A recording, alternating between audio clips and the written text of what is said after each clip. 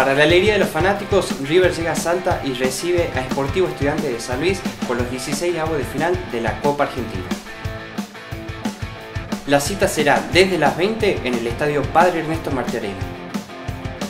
Las entradas varían desde los 200 hasta los 400 pesos y se pondrán a la venta desde este jueves en las boleterías de los clubes Gimnasia y Tiro y Juventud Antoniana.